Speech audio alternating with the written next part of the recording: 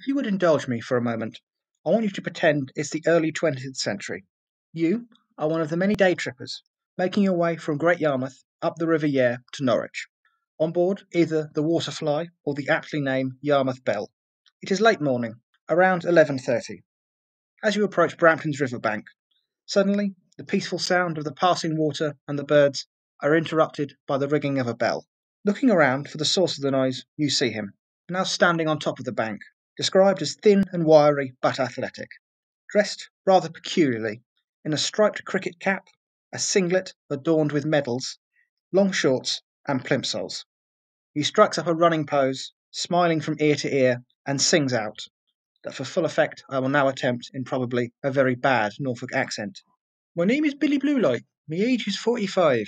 I hope to reach the Carrow Bridge before the boat arrive. My apologies for that, but thank you.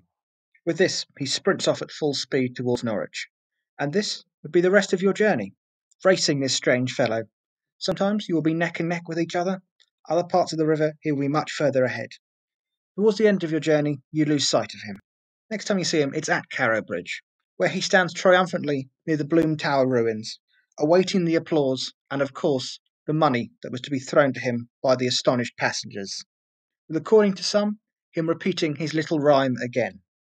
You have just encountered Billy Blue Light, one of Norfolk's most famous eccentrics. It is believed that Billy was possibly born on the 10th of April, 1859, although there is some debate on this. His real name was William Cullum, and his rather carefree persona was in stark contrast to the hard life he had growing up. He was from one of the poorest parts of the city, they say, no more than a slum. He had no formal education, although did teach himself to read. Most of his life, he held a job as a street hawker, normally found outside the Colman's factory when the workers were leaving, selling firewood, blackberries, matches, and even Leech's cough tablets. Although, for a short time, he worked at the Caley's chocolate factory. I've already done a presentation on the history of Caley's in Norwich. Please follow the link on screen if you are interested.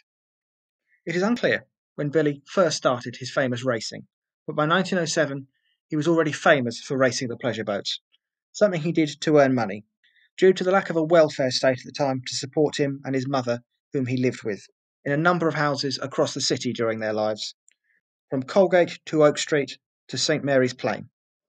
Where his chosen nickname came from is a bit of a mystery. Billy is clearly from the first name William, but Blue Light has several possible ideas. None, of course, can ever be proven, as is generally the case with most stories like this. Some say it was due to him running in all weathers and being described as having a blue nose in the winter. Although it is also claimed that he only ran in better weather, relying on other ways of making money in winter. Others have said it was due to his time as a street hawker, where he sold blue tipped matches. The third most popular, and the one that has an additional connection to Billy, is that it comes from the Victorian use of blue light for a person who follows the temperance movement and is a teetotaler. This seems to fit William very well, as he was a known non drinker and was known to speak out about the dangers of alcohol. His strange side job wasn't just something he undertook in his younger days either. His running lasted well into the 1930s. By this time, he was far beyond 45. Despite this, his age remained 45 in his little poem, probably due to how well it rhymed.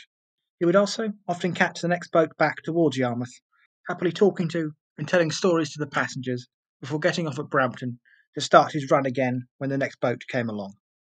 After his mother's death in 1930, he found it difficult to cope alone and moved into a workhouse, although others say it was into the West Norwich Hospital for a time, before settling into a house in Palmer Road on the Mile Cross housing estate by 1939. As his age increased, he moved permanently into the West Norwich Hospital in his 80s, and here he would remain until being moved to the St James Hospital in Shipmeadow, Suffolk, where he passed away in 1949, aged 90. Both during and after his life for a time, Billy was a topic of conversation all over the city, and his legacy was summed up very nicely by the author R. L. Potter. The overworked term nature's gentleman was never better exemplified than this gentle, unpretentious character called Billy Bluelight. It may seem astonishing that a humble little man could imprint his personality on such a large city, but it was so. And this is why I believe he should be remembered. History is all too happy to keep the names of some of the worst killers and criminals imaginable in the public eye, while those like Billy, a humble and inoffensive man who never hurt anyone, rather eccentric to say the least, but harmless, have faded away.